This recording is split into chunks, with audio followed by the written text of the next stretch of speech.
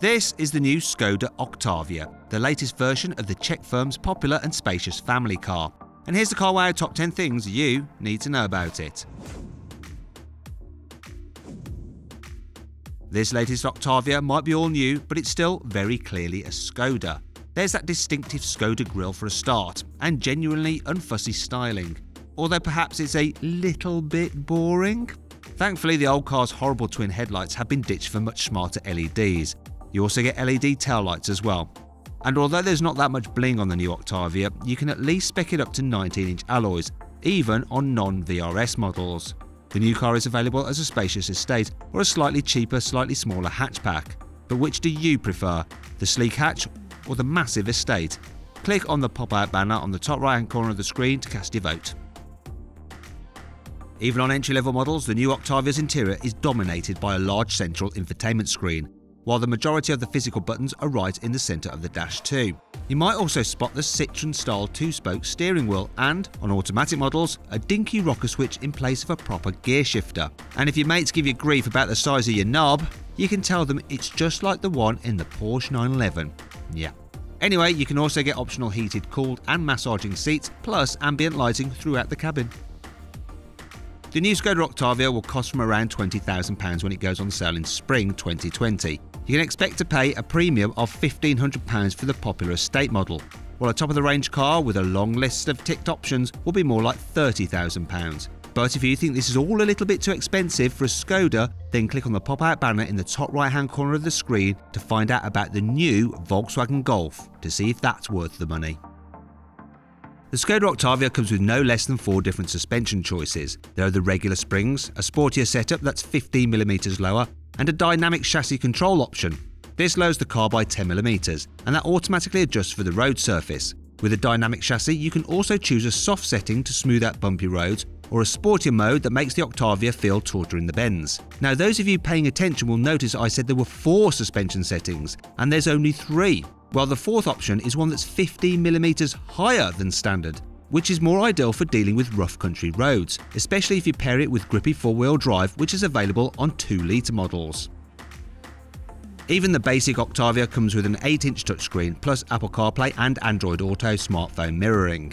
Higher specification models have a 10-inch central screen and built-in satellite navigation, while the top of the range trim gets a 10-inch virtual cockpit in place of conventional driving dials. Gesture control is available too, as is voice control. This comes in the form of a digital assistant called Laura, which could probably get confusing if one of your passengers is called Laura.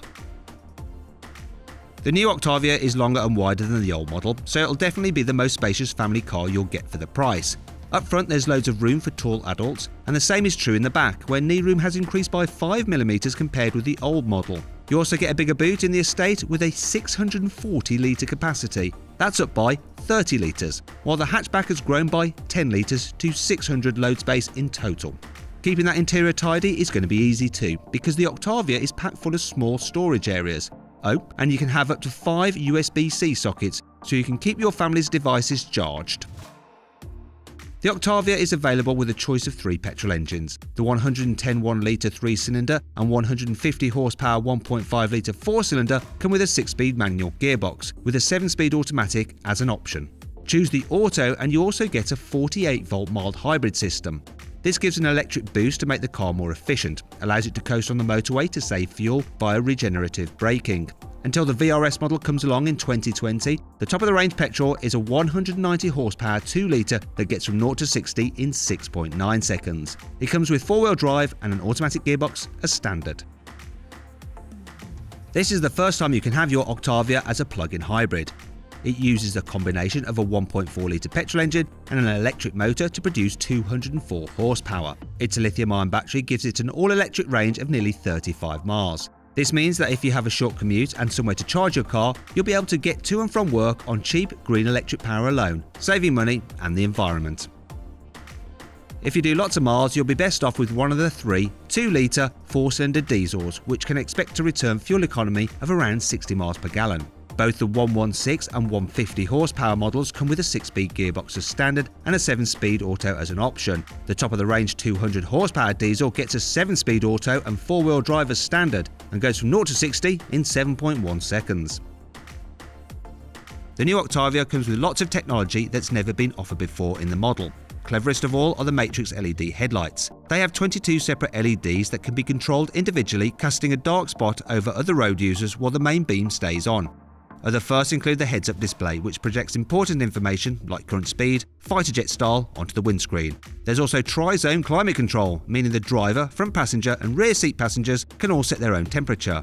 The final new addition to the Octavia options sheet is four-door keyless entry, allowing you to open any passenger door without having to take your key out of your pocket. If you enjoyed this video, please subscribe to this channel for more videos, and if you click on the deals box to the right, you can see how much you can save on a new car at CarWow or click on the video windows below to watch another of my videos.